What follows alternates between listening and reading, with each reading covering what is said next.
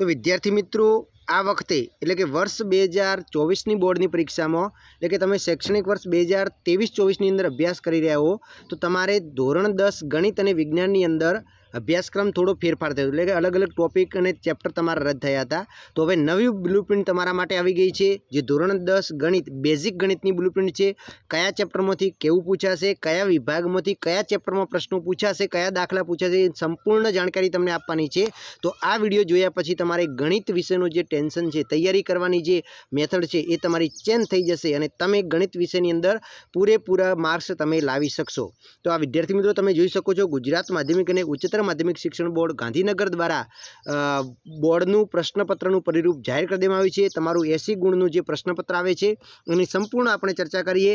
તો શરૂઆત આપણે કરીએ છીએ પ્રકરણ વાઇઝ ગુણભાર, એટલે કે કયા ચેપ્ટરમાંથી કેટલા ગુણનું તમારે પૂછવાનું છે. તો ચેપ્ટર એક છે, એમાંથી તમારે બે ગુણ, એટલે કે વાસ્તવિક સંખ્યામાંથી બે માર્ક્સનું પૂછાશે.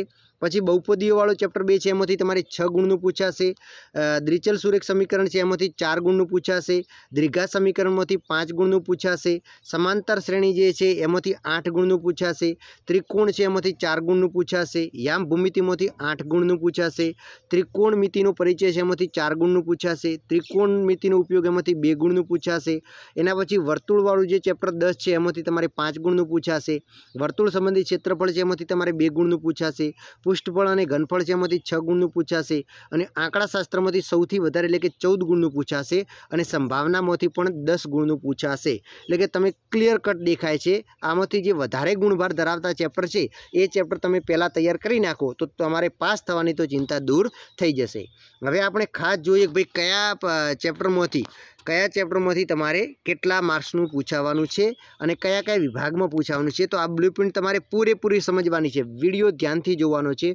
તો જુઓ ચેપ્ટર એકની આપણે વાત કરીએ, વાસ્તવિક સંખ્યાઓ છે. તો એમાંથી બે ગુણનું જ તમારે પૂછાવાનું છે અને ફક્ત વિભાગ એની અંદર, એટલે કે વિભાગ એ તમારે જે ખાલી જગ્યાઓ છે, જોડકા છે, ખરા ખોટા છે, એની અંદર તમારે પૂછવાનું છે. તો બે ગુણના તમારે એ પૂછાઈ જશે. બરાબર? એટલે કે પહેલો ચેપ્ટર છે એ તમારે ફક્ત વિભાગ એ માટે, એટલે કે હેતુલક્ષી પ્રશ્નો જે કહેવાય, ટૂંકા એના માટે તૈયાર કરવાનો છે.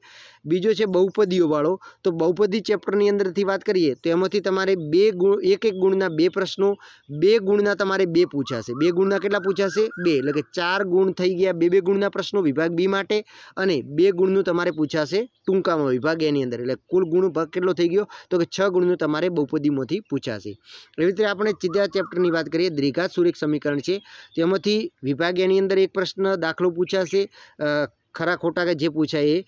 અને એક તમારે ત્રણ ગુણનો દાખલો પૂછાશે કેટલા ગુણનો? ત્રણ ગુણનો. એટલે કે વિભાગ સીની અંદર એક પ્રશ્ન દાખલો અને વિભાગ એની અંદર એક તમારે પૂછાશે આમ કુલ ચાર ગુણનું વિભાગ ચેપ્ટર ત્રણમાંથી પૂછાવાનું છે. એવી રીતે આપણે ચેપ્ટર ચારની વાત કરીએ, દ્વિઘાત સમીકરણ છે. તો એની અંદર તમારે એક પ્રશ્ન વિભાગ એની અંદર પૂછાશે અને એક મોટો વિભાગ ડીની અંદર ચાર ગુણનો એક પ્રશ્ન પૂછાશે દાખલો. બરાબર? ચાર ગુણનો દાખલો તમારે ચોથા ચેપ્ટરમાંથી પૂછાશે, બરાબર? એવી રીતે આપણે વાત કરીએ તો પાંચમું ચેપ્ટર છે સમાંતર શ્રેણી. તો એની અંદરથી તમારે ત્રણ ગુણનો એક દાખલો પૂછાશે, બે ગુણનો એક પૂછાશે અને એક પૂછાશે ત્રણ ગુણનું. તો આવી રીતે એમની અંદર પૂછાવાનું છે અને કુલ ગુણભાર છે આઠ ગુણ. ત્રિકોણવાળો જે ચેપ્ટર છે છઠ્ઠું, એની અંદર જોવા જઈએ તો ફક્ત એક જ તમારે ત્રિકોણનો જે પ્રમેય પૂછાય છે, એ એની અંદર ચાર ગુણનો તમારે પૂછાવાનો છે. તો છઠ્ઠા ચેપ્ટરમાંથી ફક્ત પ્રમેય તૈયાર કરવાનો છે. પછી યામ ભૂમિતિવાળાની વાત કરીએ તો એની અંદરથી બે બે, એક એક ગુણના બે પ્રશ્નો પૂછાશે. એક પ્રશ્ન પૂછાશે ત્રણ ગુણનો એટલે કે ત્રણ ગુણના બે પૂછાશે. ત્રણ ગુણના કેટલા પૂછાશે? બે પૂછાશે. અને એક ટૂંકા પ્રશ્નો પૂછાશે. એવી રીતે એનો આઠ ગુણ ભાર છે, આઠ ગુણ. પછી આઠમો ચેપ્ટર જે છે, ત્રિકોણમિતિનો ઉપયોગ છે, તો એ પણ એની અંદર બે ગુણનો જ ફક્ત એક દાખલો તમારે પૂછાવાનો છે. પછી વર્તુળવાળો જે છે, તો વર્તુળની અંદર જો એ ત્રણ ગુણનો એક પૂછાશે અને એક ગુણનો એક એક ગુણના બે. એક ગુણના બે પ્રશ્નો અને ત્રણ ગુણનો એક. આમ રીતે એનો પાંચ ગુણ ભાર છે. બરાબર? પછી વર્તુળ અને સંબંધિત ક્ષેત્રફળ છે. તો એની અંદરથી ફક્ત બે ગુણનો જ એક પ્રશ્ન પૂછાય છે. અને પુષ્ઠફળ અને ઘનફળ છે. તો એની અંદરથી બે ગુણનો એક પ્રશ્ન અને ચાર ગુણનો એક પ્રશ્ન એના હાથમાં પણ એક તમને મળી રહેશે. પછી આંકડાશાસ્ત્રની વાત કરીએ તો આંકડાશાસ્ત્ર વિભાગ એની આપણે વાત કરીએ તો વિભાગ એની અંદર એક તમારે પ્રશ્ન પૂછાશે. ત્રણ ગુણનો એક, ચાર ગુણનો એક બે પૂછાશે. ચાર ગુણના કેટલા? બે પૂછાશે. અને બે ગુણના બે પૂછાશે આવી રીતે તમારે સૌથી વધારે જોવા જઈએ તો આંકડાશાસ્ત્રની અંદર ચૌદ ગુણનું તમારે પૂછાશે બરાબર? એટલે કે દરેક વિભાગમાં આની તૈયારી કરવાની થશે. પછી સંભાવનાવાળો જે છે ચેપ્ટર નંબર ચૌદ, તો એની અંદર તમે જુઓ તો એ ત્રણ ટૂંકા પૂછાશે એક બે ગુણનો પૂછાશે બે ગુણના બે પૂછાશે અને ત્રણ ગુણનું એક પૂછાશે આવી રીતે આમાં દસ ગુણનું પૂછાશે બરાબર? હવે આપણે વિભાગ વાઇઝ જોવા જઈએ તો વિભાગ એની અંદર, એટલે કે એની અંદર તમારે શું પૂછાશે એ પહેલાં જોઈ લઈએ ને પછી ચેપ્ટર હું તમને કહીશ. બરાબર? તો ચાલો, વિભાગ એની અંદર તમારે શું પૂછવાનું છે? તો વિભાગ એની અંદર જે આપણે હેતુલક્ષી કહીએ છીએ, તો કે એની અંદર તમારે એમસીક્યુ છે પછી ખરા ખોટા છે, ખાલી જગ્યા છે, વ્યાખ્યા છે, સૂત્રો છે, અતિ ટૂંકા પ્રશ્નો છે, આ બધું તમારે વિભાગ એની અંદર આવશે. વિભાગ બેની અંદર તમારે બે બે ગુણના દાખલા રહેશે, પ્રશ્નો રહેશે. વિભાગ સેની અંદર ત્રણ ત્રણ ગુણના રહેશે અને વિભાગ ડીની અંદર એટલે કે ચાર ચાર ગુણના પાંચ પ્રશ્નો રહેશે અને એની અંદર ત્રણ આંતરિક વિકલ્પો આપેલા હશે. ત્રણ ગુણના પ્રશ્નો એટલે કે આવી રીતે જોવા જઈએ, સોળ ગુણનું વિભાગ એ વિભાગ બી વીસ ગુણનું, વિભાગ સી ચોવીસ ગુણનું અને વિભાગ ડી વીસ ગુણ આમ તમારે સંપૂર્ણ એંસી ગુણનું પ્રશ્નપત્ર આવશે. અને પ્રથમ પરીક્ષામાં પણ તમારે પ્રથમ પરીક્ષાનો અભ્યાસક્રમ હશે, પણ એ પ્રશ્નપત્ર જે તમારે એંસી ગુણનું આવશે, એટલે કે પ્રથમ પરીક્ષા પણ એંસી ગુણની લેવાશે અને પ્રિલમ પરીક્ષા અને બોર્ડની પરીક્ષા જે છે, એ પણ તમારે એંસી ગુણની રહેશે. હવે આપણે ચેપ્ટર વાઇઝ તમે એનાલિસિસ કરો તો તમને વધારે ખ્યાલ આવશે કે વિભાગ વાઇઝ આપણે જો કયા વિભાગની અંદર કયા કયા કયા ચેપ્ટર આપશે. તો વિભાગ આપણે એની વાત કરીએ તો વિભાગ એની અંદર તમારે કયા કયા ચેપ્ટર છે? તો ચેપ્ટર એક છે, એકમાંથી બે પ્રશ્નો છે ચેપ્ટર બીજો છે ચેપ્ટર ત્રીજો છે અને ચેપ્ટર ચોથો છે. બરાબર? હવે એક અને બે અને ચાર છે. આની અંદરથી એક, બે છે, એમાંથી બે બે પ્રશ્નો પૂછાશે. ત્રણ, ચારમાંથી એક પૂછાશે. એના પછી સીધું તમે ચેપ્ટર જોવા જઈએ તો ચેપ્ટર સાત છે, આઠ છે. તો આ દરેકમાંથી તમારે બે બે પ્રશ્નો પૂછાશે. ચેપ્ટર પછી દસ છે, તો એમાંથી પણ પૂછાશે. બરાબર?